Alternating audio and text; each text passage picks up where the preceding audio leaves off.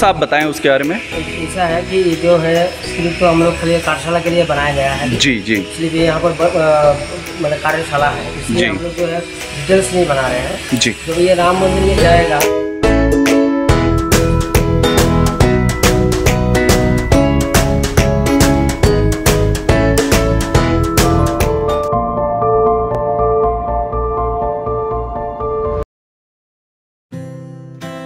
good afternoon friends first of all thanks to all क्योंकि आपने पिछले एपिसोड को बहुत ही प्यार दिया और आपने बहुत ही लाइक किया।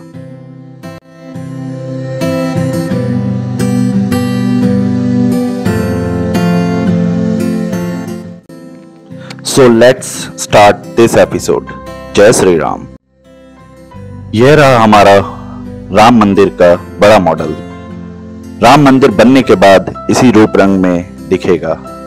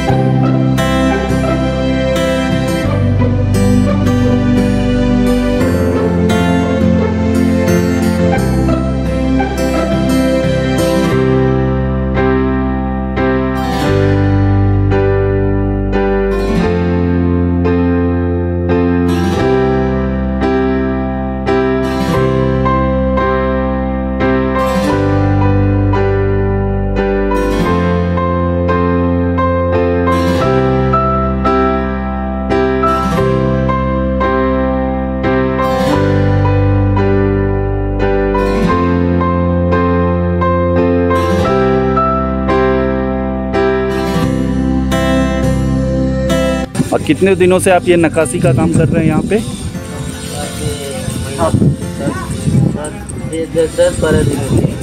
अच्छा दस बारह दिन हो गए। बाकी लोग तो बहुत सालों से यहाँ पे लगे पड़े होंगे है ना? जी जी जी जी धन्यवाद।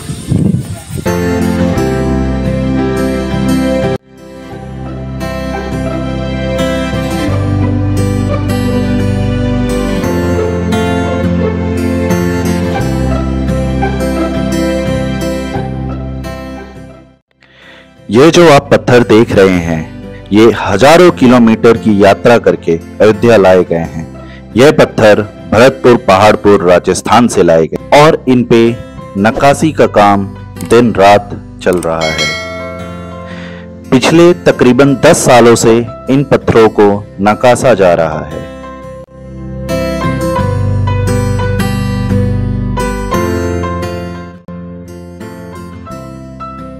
और ये काम नक्काशी का काम कितने दिनों से कर रहे हैं आप? दस साल हो गए। दस साल हो गए। चलिए चलिए बढ़िया लगा आपसे मिलके।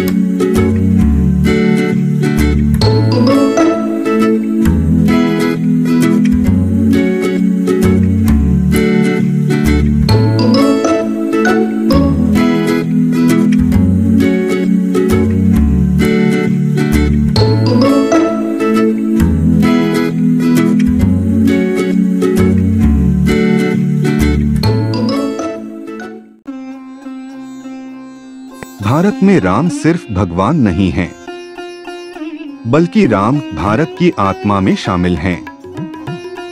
युगों युगों से राम कहानी भारत और भारतवासियों के दिलों में बसी है। और आज अब भारत के लोगों को वही राम कहानी राम लला के मंदिर में देखने को मिलेगी। राम मंदिर में राम कथा कुंज का निर्माण किया जा रहा है। जहाँ मूर्तियों के ज़रिए श्री राम के जीवन से जुड़े तमाम प्रसंग सजीव हो उठेंगे, जिसे केवल आप देख पा रहे हैं, हमारे चैनल प्रभु दर्शन पे।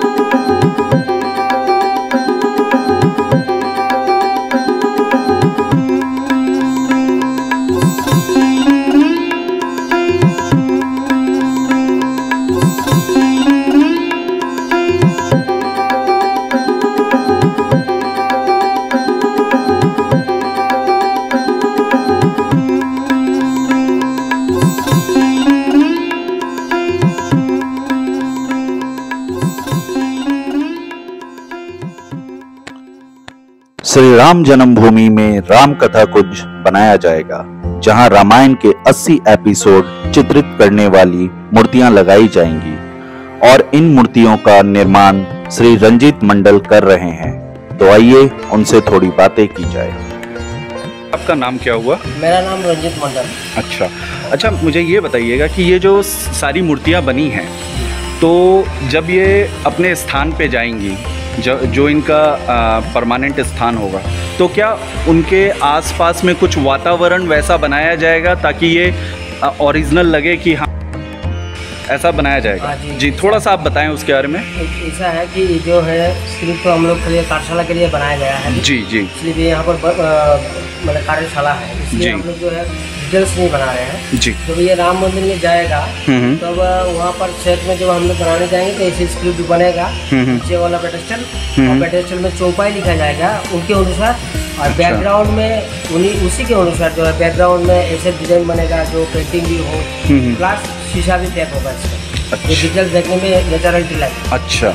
ताकि मतलब जब लोग देखने आए तो उनको वो स्वरूप देख के लगे कि ये सही में सामने में सच्चाई रूप में है। इस तरह का व्यवस्थित ढंग से इसको किया जाएगा। भैया ये जो मूर्तियाँ यहाँ पे बन रही हैं ये कब से बन रही हैं? ये मूर्ति बन रही है 2013 से। माननीय अशोक सिंगल जी के आदेश से मूर्तियाँ निर्माण करना चालू किया। जी।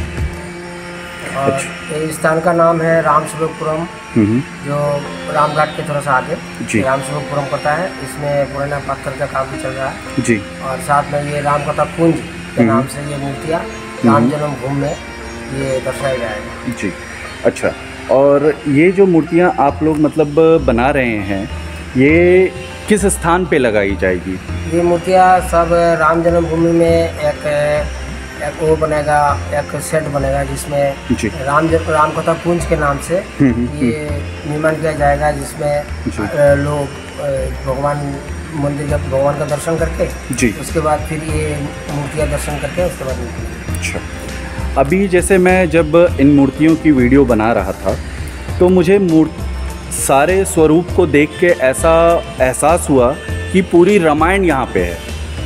क्योंकि हर रूप लगभग भगवान राम के जन्म से लेके उनके वनवास तक की झलक मुझे इस इन मूर्तियों में दिखी है। तो क्या मतलब ये पूरा कॉन्सेप्ट ही है कि पूरी राम कथा को हमको इन मूर्तियों के द्वारा दर्शा देना है? जी इसमें है जैसे भगवान पुत्राष्टि यज्ञ। जी। पुत्राष्टि यज्ञ से शुरू करके जब जन्म से लेके जी। एकदम राज्याभिषेक तक जी। एक एक प्रसंग जो है। इसमें दर्शाया गया है। अच्छा। जो इसको निर्माण करने के लिए हमको सौभाग्य प्राप्त हुआ। जी। चलिए। मतलब ये सारी मूर्तियाँ आप लोग 2013 से बनाते आ रहे हैं। जी। मेरा वो दायित्व दिया था माननीय अशोक सिंह जी। अच्छा। उसके बाद माननीय चंपत राय जी के। में ये मूर्तियाँ निर्माण कार्य चल रहा है। अच्छा। तो मिलते हैं अगले वीडियो में। टिल देन जय श्री राम